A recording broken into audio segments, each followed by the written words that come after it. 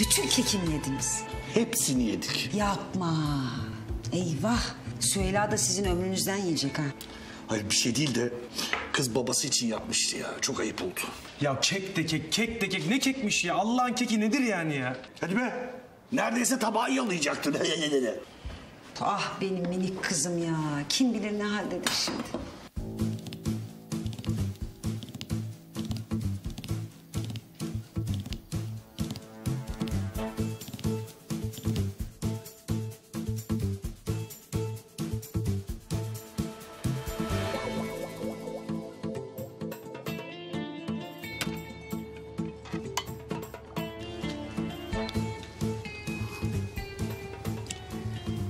Süheyla'ların en güzeli. Ya aşkım ne gerek vardı? E ben bunları suya koyayım.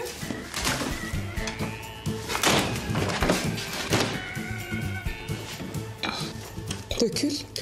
Süheyla, ben senin keklerini aldatmak istemedim. E, evet, gerçekten. Onlara uydum. Seni rahatlatacaksa eğer hiçbir şey hissetmedim.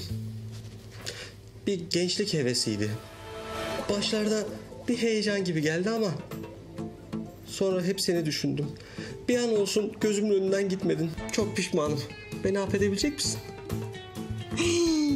Aşkım ya yok yok yok bir şey olmadı merak etme. Hem iyi oldu biliyor musun?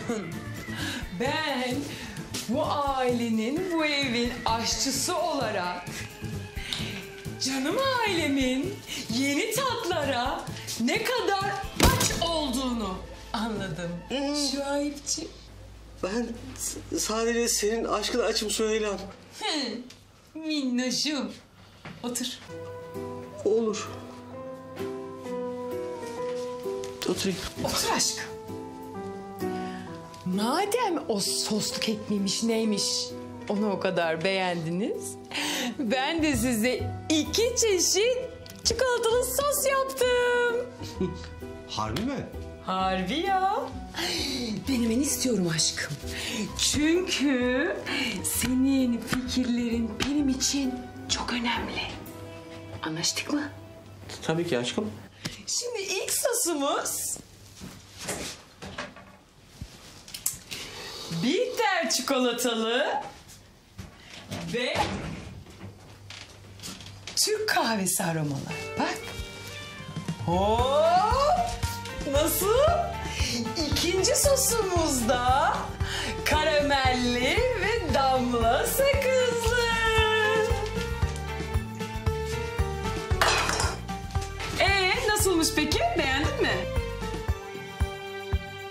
Yani tecrübe ettiğim kadarıyla bu tatlar birbiriyle karışsa bir de ortada yumuşak başlı bir kek olursa ahenkli bir tat yakalayabiliriz. Eline sağlık. Senden de bu beklenirdi zaten. Çok tatlısın aşkım. Değil mi? Evet. Daha da tatlı oldum. Neyse. Şimdi ben müsaadenle banyoda yatırımcılar var. Bir onlarla görüşüp geleyim. Hı, git git banyoya git. Bir an önce git kurumasın.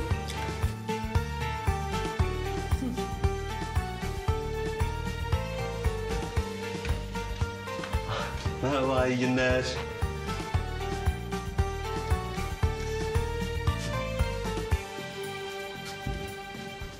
Çikolata görünce kendini kaybediyor da. Senin kekten fark etmişsindir. Fark ettim, fark ettim. Başka şeyler de fark ettim, merak etme. Ya, ay sen ne akıllı kızsın öyle. Aferin sana, aferin. Görüşürüz. Görüşürüz.